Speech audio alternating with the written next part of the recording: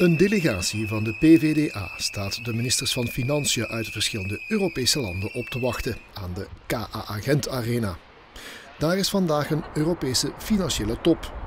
De ministers worden uitgefloten en krijgen een rode kaart. En zoals we wel uh, gehoord hebben, gaan uh, enorme besparingen op ons afkomen, 27 miljard.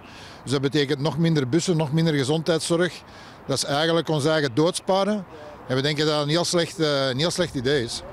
Volgens de partij zou het departement Defensie de besparingsdans ontlopen. Iets wat deze militanten niet kunnen begrijpen.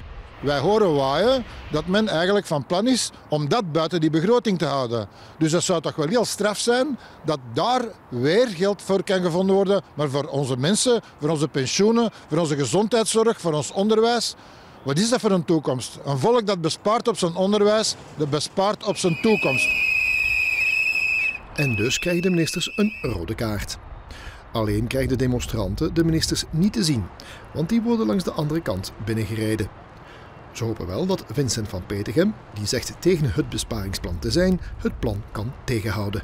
Binnen de Europese uh, wetgeving, laten we maar zeggen, is het zo dat er een unanimiteit moet zijn. Dus België is perfect in staat om dit tegen te houden, tenminste al tot april, totdat er een definitieve beslissing moet genomen worden. En vermits dat uh, meer dan een aantal partijen in deze regering er eigenlijk uh, tegen zijn, moeten ze eigenlijk gewoon de daad bij het woord voeren en zorgen dat dat minstens vandaag al wordt tegengehouden.